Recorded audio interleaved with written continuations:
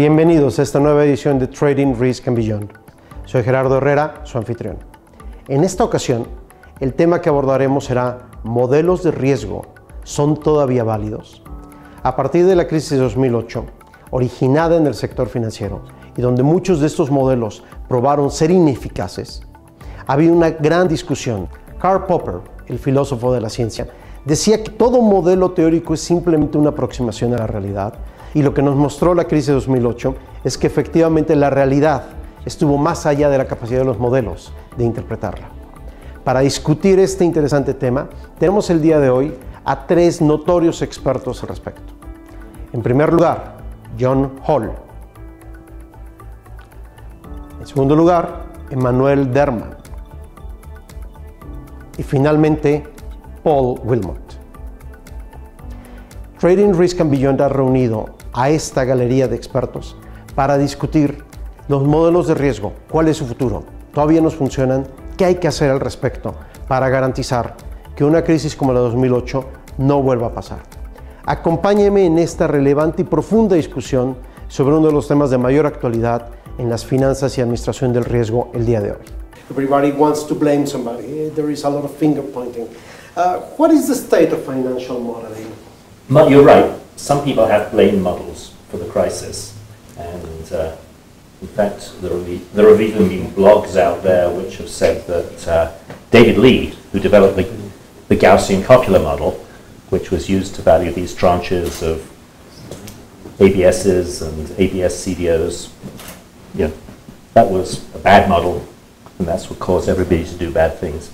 I mean, I think that's totally ridiculous. I, it's, it's not models that cause the problem, it's people and how they use the models that causes the problems.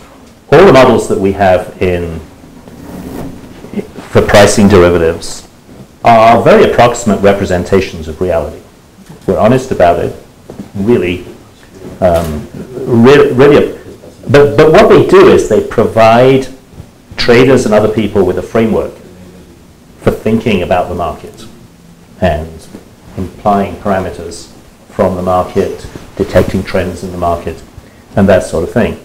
And uh, so long as models are used sensibly, there's no problem. But as soon as people start believing the models to be perfect representations of reality, that's where we have problems because the models are just really a way to enable traders to think about think about the world a little bit more definitely than they would have been able to otherwise. But we should, you know, take take a very simple model like Black Scholes. I mean, there's been no end of improvements to Black Scholes in the sense of making Black Scholes more um, closer to the sort of the, the, sort of way traders actually price options. You know, maybe there's uh, you know, there's a volatility smile, a volatility skew, and all that sort of thing. But traders still use Black Scholes because Black Scholes is a nice, simple way of thinking about the world and thinking about the volatility environment that they're facing out there in the world. Um, but you'll be in trouble if you actually believed Black Scholes was the truth. Guns don't kill people, people kill people so it, it, doesn't go down that well. But I think um, Paul and I actually once wrote an article about a, a, an op-ed in the in the in Newsweek in 2009 around the crisis when people were blaming models, and I think there was a knee-jerk reaction on the part of the public and. Um, um, uh, yeah, a, a, bunch of famous people, including Paul Volcker. He, Paul Volcker wrote a wrote an open letter to his grandson, who was a quant, sort of accusing him of uh, of using bad morals and quoting how his grandson had said to him, um, it's not my fault, I only did what, what people were telling me to do. And Paul Volcker said to him, I won't accept the Nuremberg excuse, um, which I thought was a bit extreme. Um, but I think what John said is basically right. Um, you know, nevertheless, I, I think it's a little too easy. People, people build models, and then the people who use them higher up or who use the quants and make use of them higher up do tend to take the models more literally than they should. And it, it's kind of hard to know what to do about that. Um, I'm hopping around a little. Nevertheless, I don't think the crisis was the fault of models. Um, if you look at the copula models, well, maybe you could argue they were to blame in this country, but Iceland had a terrible crisis. And that had nothing to do with anything to do with models. It simply had to do with too much leverage. Um, Spain had a mortgage market that um, that imploded and had nothing to do with CMO models. There were no securitized mortgages over there. And I think the bigger underlying issue is, um, from my point of view, although I wouldn't defend quants, but I think the bigger underlying issue is um, is the Fed keeping interest rates low, encouraging leverage, encouraging people to go out on a limb and borrow as much money as possible all over the world whenever there's been a crisis, um, the standard reaction is to lower interest rates. It's sort of hair of the dog that bit you. If you if you borrow too much money, make it even easier for you to borrow money so that um, you can repay your loans. And I think that's been a bigger problem in the financial crisis than models. I think everybody does believe the models, and I think people are encouraged to believe the models. I, I have taken the position in things I've written. I've said right at the start of books, for example, don't believe anything. You know, take it all with a pinch of salt don't believe any, of these models and don't believe anything you read in this book, i.e. my book. But people are not encouraged like that. You take someone like um, Alan Greenspan uh, and uh, the, economics models, when the, the, the, crisis hit, I forget his exact quote, but he, he expressed some kind of psychological turmoil that these things he believed in all his life suddenly turned out not to be the case. And he's supposed to be an intelligent person. So I can't believe, but it is true, I can't I'm surprised at how much people do believe in these models. Well, the models are the enabler for people to do bad things. You, hear stories about a trader will go to some risk manager and say, can you tell me the, um, the, the, amount of risk in, in my position? So the quant goes and says, this is, the, this is the amount of risk. And the trader goes, no, it's not. If you catch my drift, go back and redo your calculations, which means go back, change the parameters or whatever to give a smaller number so that he can trade more. So it's very easy to, to abuse these models. Well, I think, I think we want to distinguish between models that are used for pricing and models that are used for risk management. And uh, I, I, guess my comments were mostly about using models for pricing. And uh, Emanuel's actually written you know, some really good material on the difference between how we use models in finance and how physicists use models physics, a model is an absolute truth. In finance, we change the volatility every day. And so it's, there's, there's, it's, not, that, that it's not an absolute truth. And, and that's, where, that's where I come back to, you know, the model is a way of thinking about the world. Now, when you come on to risk management, yeah, there's the, and, and, and value at risk and, and uh, ways of uh, manipulating value at risk. Yeah, we all know you can do that. And uh, the regulators are getting right on top of this with stressed VaR and that sort of thing these days. Uh, from, a, from a scientific perspective, I, I, that, that, causes me problems because really pricing and risk management ought, ought to all be sort of at the same level, really. They should be internally consistent. That, that maybe that's totally impossible, but that would be the ideal because the ideal because at the moment it feels more like alchemy than science, where something works sometimes, sometimes it doesn't, so you do something else, and it, it doesn't quite gel. Regulators are idiots. Yeah. And, and, by, the, and by, the, way, while, while we're about it, let me dissociate myself from your comment that regulators are idiots. Because I actually, I, I, I, I, I um, just in know, case I, somebody's just listening. Just in case somebody's listening, yeah. I, I've, um, you know, I, I'm pretty impressed with. I mean, regulators have got an incredibly difficult job. I mean, you have you ever tried to work out what a large bank like, you know, J.P. Morgan or Goldman Sachs is actually doing? It's, it's, it's, it's, it's incredibly difficult as a, as a, as a bank supervisor to, to, to, to get on top of things. I think, you know, given all the constraints they're working under, um, they do pretty well, and I'm pretty impressed with most of the regulators.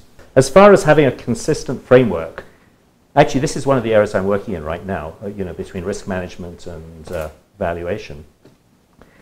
The thing about valuation, of course, is that we use this risk-neutral valuation paradigm, but as far as risk management is concerned, we want to work in the real world measure. It's the Q measure versus the P measure.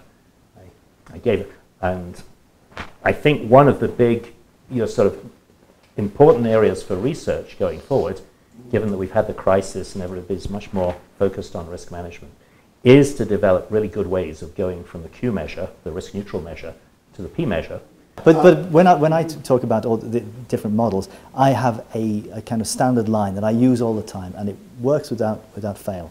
I will talk about different models, and I can always say that if a model is good, it won't be popular.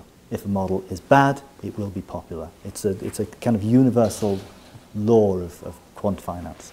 I, I think the right way to look at all of this um, is, is, this is my argument, I wrote this down somewhere once, said, there's only one, although in the natural sciences there are a lot of laws that work, um, in finance there's only one law, and that's if you want to know what something is worth, um, try to find a portfolio. If you want to know what something illiquid is worth, try to find a portfolio of liquid securities that have the same future payoffs under all scenarios, and then the value of that portfolio in the market is the value of what your illiquid thing is worth. And so then you've got, so I think all of finance consists of this. How to value something illiquid is to find a set of illiquid things that replicate it.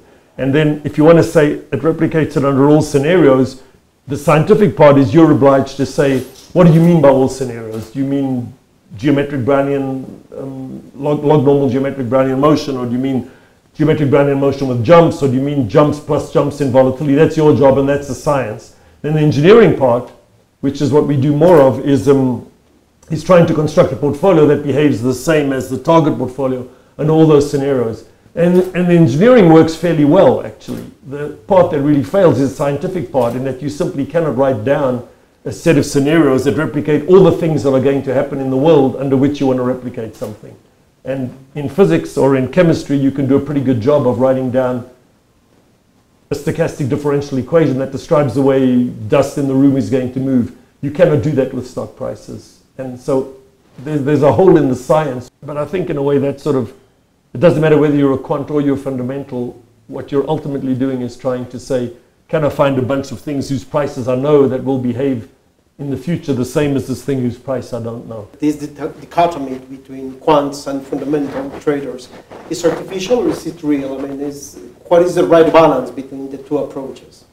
Well, the balance is some, there, there is the truth is out there or in there in the middle somehow. It's it's a combination of things really, and that, that that's uh, yeah. My, my earlier comment about the, the scientific thing, I, I realised I sort of painted myself into a corner that that, that, that, that you never will get the the fundamental laws um, of anything. So maybe the alchemic approach is actually the the best one, or an, an engineer. It's called an engineering approach is the is the sensible one. Uh, ultimately, I don't, I don't know. Does any of this really matter? I mean, sorry, I'm a bit jaded. Um, does any of it really matter? The, the, as long as you work for a bank, you're going to be really, really rich. It doesn't matter what models you use. well, bankers just take a, a cut of everything we do. So as long as they just keep their noses clean. There's the Warren Buffett approach to asset management, which is the fundamental, um, fundamental approach, and then there's the quant approach to asset management using, say, Black Litterman models and, and, and that sort of thing. Um, and yeah, I agree with you actually that you know within within some of the more um, some of the more forward-looking pension funds and other asset management companies, there is, there, there is this tension. Exactly. I mean, CPPIB, which is a large it's a large pension fund in, in mm -hmm. yeah in Toronto, and um, it uh, manages a huge amount of money. In fact, it manages the the state pension of every man, woman, and child in Canada, um, they, they had a very much a quant philosophy until the guy at the top changed. and now, now they've moved to a fundamental philosophy. It's very easy for, for ordinary mortals to understand fundamental stuff. You know, we invest in this company because it's got this product. Yeah, that's a cool product. But if you're doing quant stuff, it's very, very easy for, for people not to understand what they're talking about. And the, the, the P versus Q thing, I, I bet you the number of proper quants who understand that you know, deeply is actually frighteningly small. As these people, you know, to, well, it is. It is interesting. Yeah, I, I, think you're absolutely right. The, even even amongst quants, there's quite a bit of confusion. Mm. And actually, I think the regu- to get back to your point about reg- regulators that I talk to understand it really well. Um, and if you read, if you read, for example, the Basel II, Basel III regulations carefully, you'll find references to P measures and Q measures, but um, which which are correct references. But you know, you, you, you, explain P measure versus Q measure to, to somebody, and you know maybe they get it. You know, okay, P measure is for scenario analysis, Q measure is for valuation, and then you say, but of course, when you do a scenario analysis, you know you've got a time horizon, say one year, so you do the P measure for all the market variables out to one year. And then you've got to value things. So you've got to use the Q measure to value things. And, and, and by that time, you say, oh, no, come on.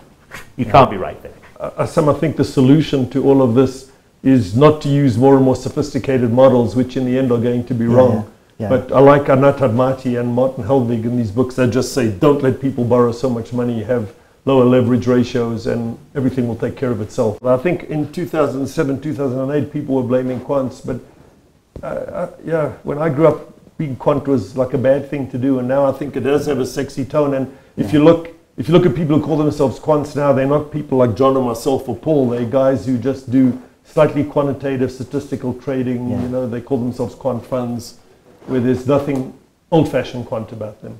Well, after all, banks, prime, bro- prime brokers, hedge funds hired quants. They must have been doing something right. So, uh, what is it that they did right? Who the Well, no, it's marketing. It's good for marketing. Really? Everything, the whole world, everything, the most important thing in the world is marketing and sales. Forget anything else. That's what makes the world go round. And quants are great for marketing. If you're trying to sell your hedge fund, then you've got some quant stuff. Well, risk management too. I mean, I, I was sort of joking, but I think, I, I mean, there are skills to risk management, but I was, I was actually inter- interacting with Nassim the other day, and he was saying something about risk management as a profession, and I was half joking, but saying risk management's more of a title than a profession. No cabe duda después de todo lo que hemos oído que los modelos podrán ser muy buenos, podrán tener muchas matemáticas, podrán tener altas finanzas, pero no exentan de que un factor humano los use en forma adecuada, no exentan del juicio de aquellos que utilizan los modelos y definitivamente no exentan de un adecuado gobierno corporativo y estrategia de administración de riesgos. Gracias por acompañarnos en esta discusión. Los esperamos en los siguientes programas de Trading Risk and Beyond. Soy Gerardo Herrera, su anfitrión. Gracias.